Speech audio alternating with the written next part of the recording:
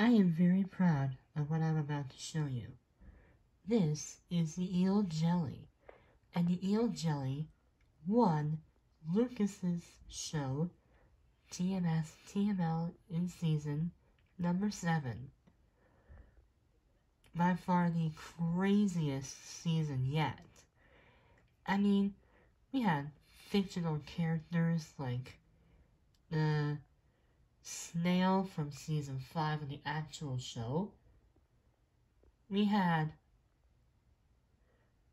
legends, we had crazy celebs, even cats. But let's see who the champions really were. The eel portion of the eel jelly was the Rock and Robin fan himself, Eddie.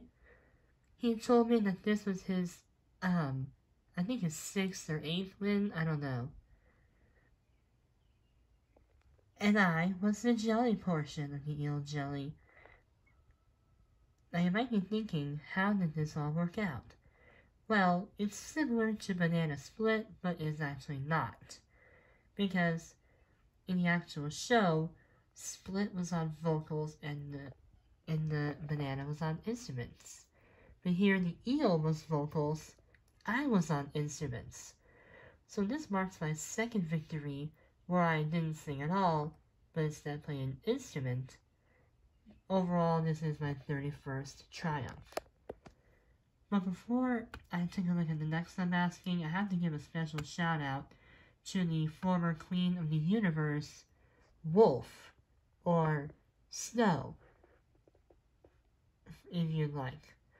She voices Squirrel on Phoebe's show, and this reveal probably definitely shocked me. I thought it was the Gacha Queen AJK making a reappearance from her season 5 appearance as Light Angel.